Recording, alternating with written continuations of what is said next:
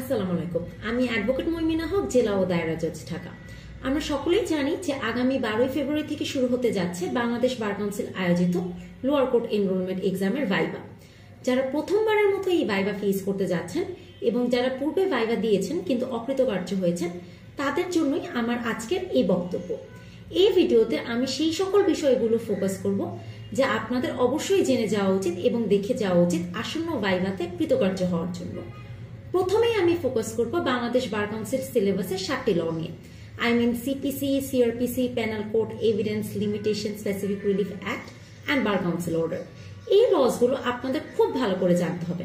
তার জন্য আপনারা যেটি করতে পারেন, নিশ্চয়ই আপনারা প্রিলিমিনারি যখন পড়েছিলেন, তখন কোনো গাইড বই ফলো করেছিলেন। সেই গাইড বইটি পড়বেন এবং তার সাথে সাথে বিয়ার একটা পড়বেন।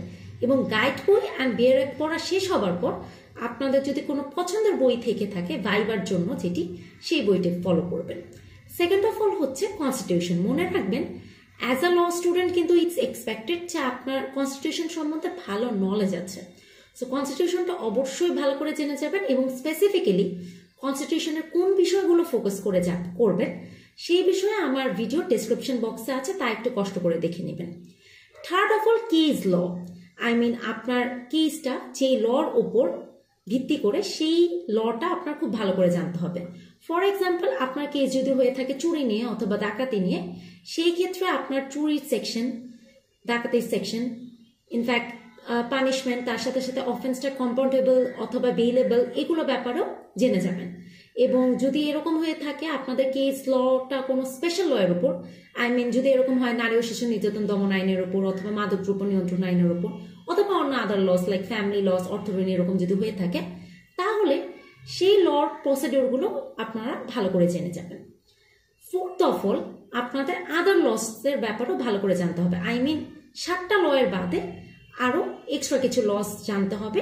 যেই লগুলো নিয়ে জেনারেলি লোয়ার কোর্টে অনেক মামলা হয়ে থাকে।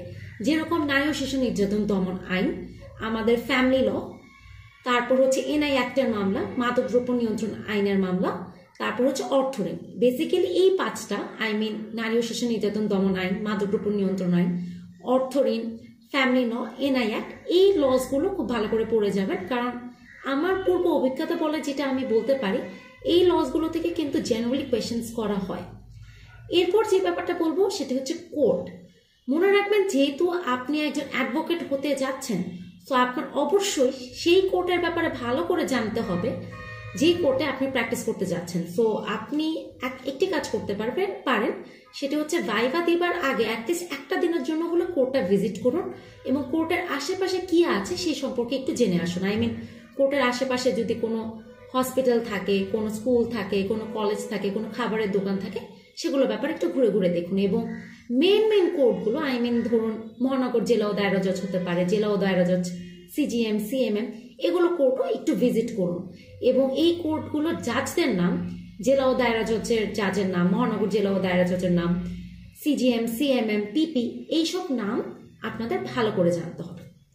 এরপর যে ব্যাপারে আসব সেটা হচ্ছে আপনার সিনিয়রের ব্যাপারে। আপনার সিনিয়রের ব্যাপারে কিন্তু আপনার ভালো করে জানতে হবে এবং মোস্ট ইম্পর্টেন্টলি যেটা, সেটা হচ্ছে আপনার সিনিয়রকে ঠিকভাবে অ্যাড্রেস করতে হবে। অনেকে কিন্তু এই ভুলটা করে সিনিয়রকে ঠিকমতো অ্যাড্রেস করে না। মনে রাখবেন সিনিয়রকে অ্যাড্রেস করতে হবে লার্নেড সিনিয়র অ্যাডভোকেট মিস্টার বলে।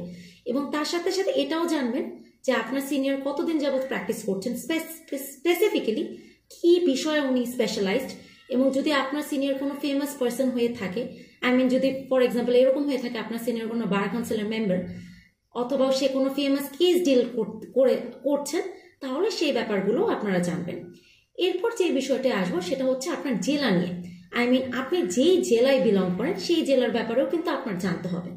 আই মিন আপনার জেলায় যদি কোনো ফেমাস প্লেস থেকে থাকে, কোনো ফেমাস খাবার থেকে থাকে, অথবা আপনার জেলায় যদি কোনো ফেমাস পার্সন থাকে অ্যান্ড মোস্ট ইম্পর্টেন্টলি আপনার জেলায় যদি কোনো ফেমাস জাজ থাকে লয়ার থাকে, তাহলে সেই সম্বন্ধেও কিন্তু ভালো করে জানবেন। আর last but not the least সেটা হচ্ছে ম্যানার্স অ্যান্ড এটিকুড মনে রাখবেন, আপনি যতই ভালো ভাইবা দেন, আপনার যদি ম্যানার্স অথবা এটিকিউটে কোনো প্রবলেম থাকে, তাহলে কিন্তু অনেক সময় দেখা যায় আপনি আর কোয়ালিফাই করছেন না। সো এটা কিন্তু খুবই ইম্পর্টেন্ট আপনি যখন ভাইবা বোর্ডে ফেস করার জন্য আমাদের রুমে প্রবেশ করবেন, তখন আপনি কিন্তু মেয়ে ক্যামিন স্যার বলে ঢুকবেন। ফার্স্ট অফ অল আসসালামু আলাইকুম বলবেন। যতক্ষণ পর্যন্ত না আপনাকে বসতে বলা হচ্ছে, ততক্ষণ পর্যন্ত কিন্তু আপনি বসবেন না। বসার পর অবশ্যই কোয়েশ্চেনগুলোর আনসার সুন্দরভাবে দিবেন।